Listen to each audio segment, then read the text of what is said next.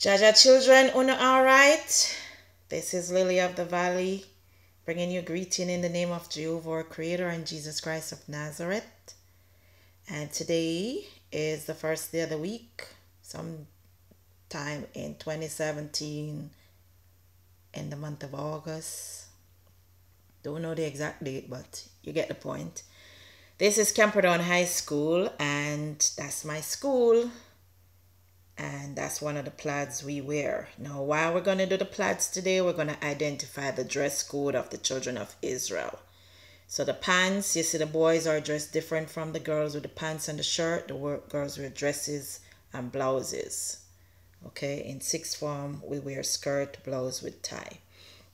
But we're going to show where the dress code comes from, and you'll see that throughout all the children of Israel scattered throughout the Caribbean, even some in the African continent still have their own different types of plaids because the plaids really came from the fact that most Jamaicans are British.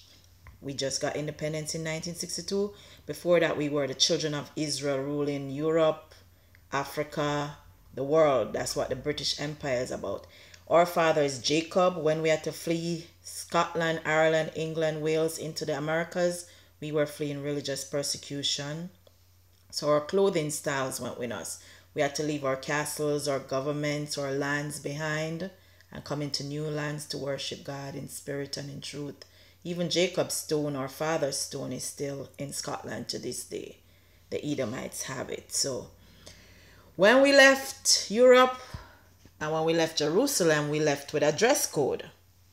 So we're going to look at the dress code. It talks about um, the clothing or dress. And I'm going to use um, Nelson's Bible Dictionary.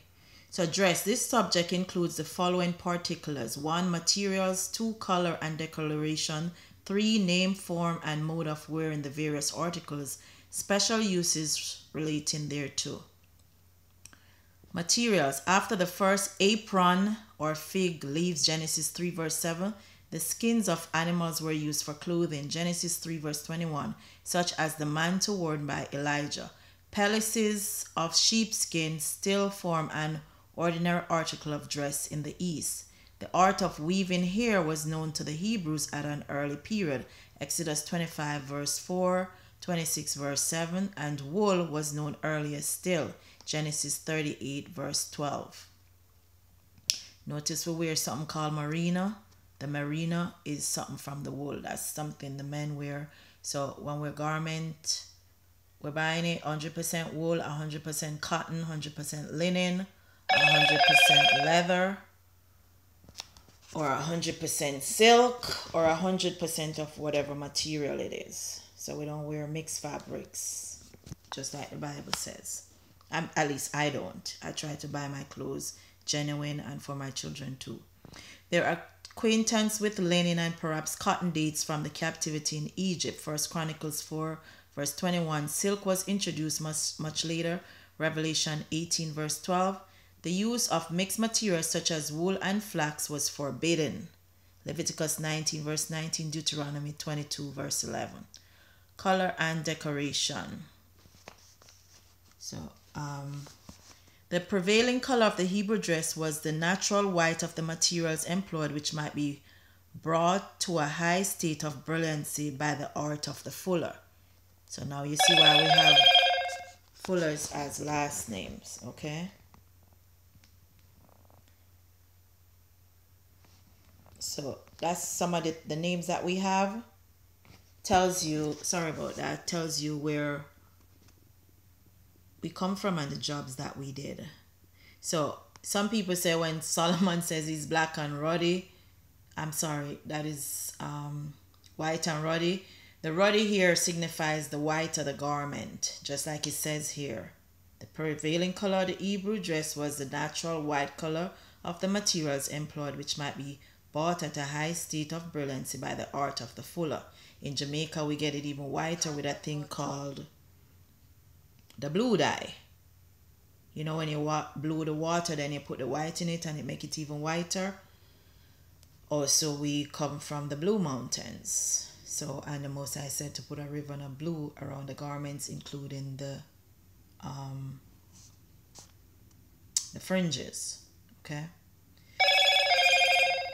So Mark 9 verse 3, the notice of scarlet thread. Genesis 3 verse 8, verse 28 implies some acquaintance with dyeing. And you know, dyer is a popular last name too of the Hebrews. So you have the fullers and you have the dyers. Okay? The elements of orna I'm sorry.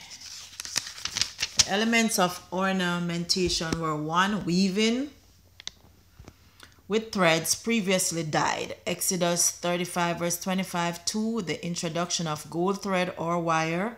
Exodus 27 verse 6 the addition of figures robes decorated with gold Psalm 45 13 and with silver thread Acts 12:21 were worn by royal personages. Other kinds of embroidered robes were worn by the wealthy. Judges 5 verse 30, Psalm 45 verse 14, Ezekiel 16 verse 13, as well as purple. Proverbs 31 verse 22, Luke 16 verse 19, and scarlet. 1 Samuel 1 verse 24. The names and forms and modes of wearing the robes, the general characteristics of Oriental dress have preserved a remarkable uniformity in all ages. The modern Arab dress is much as the ancient Hebrew did. Well, they, based on when they were writing this, because they best dress based now on what the West does, but the breeches or the shorts those were male garments, and most men in the world wear the pants now, the shorts, or the breeches, or the trousers, as they call it, and jackets and shirts. But women wear skirts, dresses, blouse, and so on. Okay. So the costume of the men and women were very similar. There was sufficient difference, however, to mark the sex, as it was strictly forbidden a woman to wear the appendages such as the staff, signet ring, and other ornaments of a man, as well as to a man to wear the outer robe of a woman. Deuteronomy 22, verse 5. We should first describe the robes which were common to the two sexes, and then those which were peculiar to women. So now you know women dress different from men. When they look at you, you should know if it's a woman or a man. And you see how many sexes God made? Two. So this is page 150, Nelson Bible Dictionary.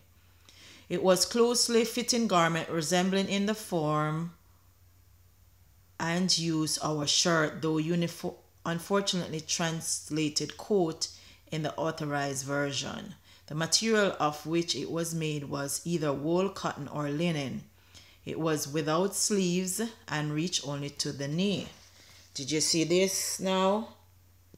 That's something like what the inner garment look like. Without sleeves, reaching to the knee, and then they have the blouse underneath it. Okay?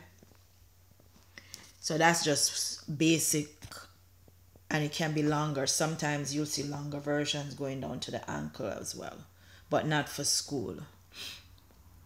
Okay.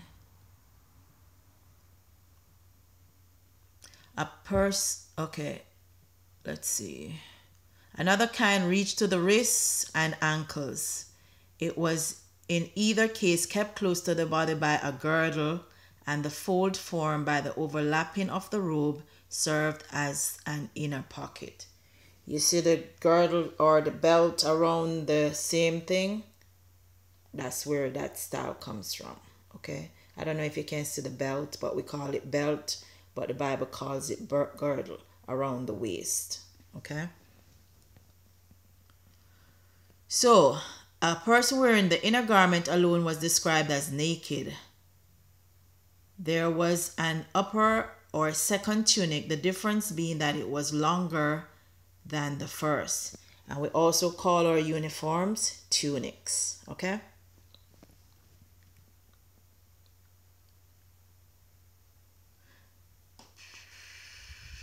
The linen cloth appears to have been a wrapper of fine linen which might be used in various ways, but especially as the, a nightshirt. Mark 14, verse 51. The outer garment consisted of a quadrangular piece of woolen cloth, probably resembling in shape a Scotch plaid. So the Scotch plaid, we're going to look at that. The same thing as the Scotland plaids because the children of Israel were in Scotland. They ruled Scotland, England, Ireland, Wales, United Kingdom. So that's where a lot of the plaids that we wear in school and in the Caribbean comes from because it's part of the dress code from the days of old. Okay. So these are some of the Scotch plaids we're going to look at. And that's one another type. Each island has its own plaid. Even the